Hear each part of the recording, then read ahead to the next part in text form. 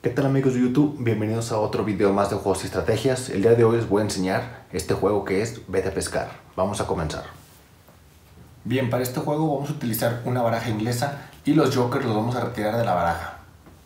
Este juego es de 2 a 6 jugadores. Bien, lo siguiente es designar una persona para que reparta cartas. Lo pueden hacer mediante las cartas. Quien saque la carta más alta es quien va a repartir. Si están jugando dos o tres jugadores, a cada uno se le van a repartir siete cartas. Si están jugando cuatro o más jugadores, a cada uno se le van a repartir cinco cartas. Bien, supongamos que somos tres jugadores, jugador 1, jugador 2, jugador 3, a cada uno se le van a repartir siete cartas y el resto de las cartas viene siendo el océano, se pone a un costado al alcance de todos, boca abajo todas las cartas. El jugador que va a comenzar a jugar va a ser el que esté a la izquierda del que repartió. Posteriormente de ahí nos vamos a ir hacia la izquierda y este juego es por turnos. Bien, voy a voltear todas las cartas únicamente para su referencia y fácil entendimiento, pero recuerden que las cartas siempre deben ir ocultas para todos los jugadores. Una vez que hayan repartido las cartas, lo que cada jugador debe de hacer primero es revisar sus cartas para ver cuáles son las cartas que más tiene del mismo valor. Por ejemplo, este jugador tiene dos reinas, una Q y una Q aquí. Este jugador tiene dos reyes, una K aquí y una K acá. Este jugador no tiene ninguna carta repetida. Entonces lo que va a hacer cada jugador es tratar de juntar las cartas del mismo valor, pero las cuatro cartas de cada palo. Entonces el objetivo es ir juntando grupos de cuatro cartas. Por ejemplo, la Q tiene que juntar las cuatro Q y eso formaría un grupo. Una vez que tengas un grupo de cartas, las vas a bajar al frente de ti. Y aquel jugador en primero bajar todos sus grupos de cartas y se quede sin ninguna en su mano, será el ganador. Bien, ya para empezar, supongamos que este jugador es el que va a comenzar. Entonces la dinámica del juego es la siguiente. Este jugador 2, como ya detectó que tiene más Ks o más Reyes, lo que le va a preguntar al jugador 1 o 3, le va a preguntar si tienen más Ks o Reyes pero solamente le puede preguntar a un jugador por turno. En este caso, supongamos que este jugador 2 me pregunta a mí, oye, ¿tienes raíz o tienes la letra K?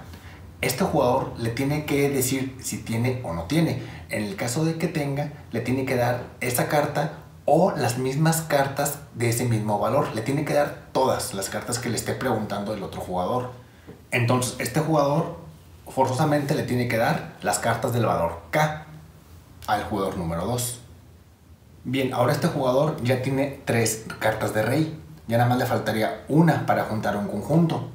Siempre que acierten van a volver a jugar. Entonces este jugador va a volver a preguntar a otro jugador o al mismo. En este caso podría optar por preguntarle al jugador número 3, oye, ¿tienes reyes?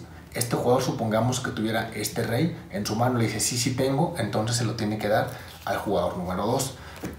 Y por ende Ahora este jugador ya juntó las 4Ks. Ya tiene aquí el grupo completo y en automático lo debe de bajar al frente de él y va a bajar el primer grupo de cartas.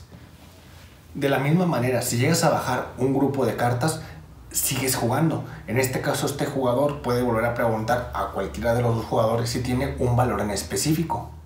Ahora, este jugador le puede preguntar a cualquiera de los jugadores por un valor en específico siempre y cuando el jugador que pregunte tenga ese valor en su mano.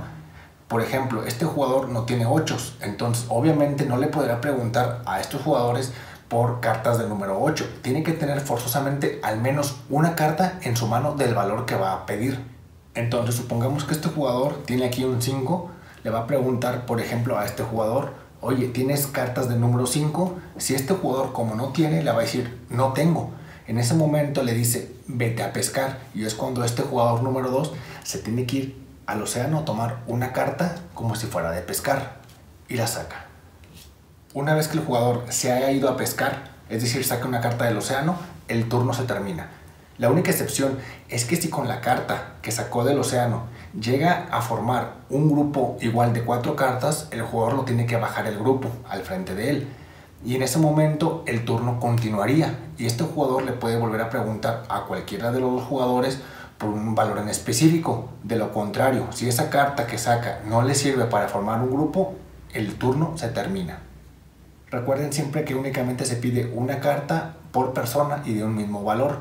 Y también recuerden que es importante que de las cartas que más tengan ustedes, es la carta que tienen que ir pidiendo a los demás jugadores para que puedan ir juntando los grupos más rápidamente. Y así vamos a continuar hacia la izquierda. Aquel jugador que primero baje todas sus cartas en grupos de 4 será el ganador. Y bueno amigos, esto fue todo por el día de hoy. Espero les haya gustado el juego de Beta Pescar. Suscríbanse, compartan, den like y nos vemos en la próxima con más juegos.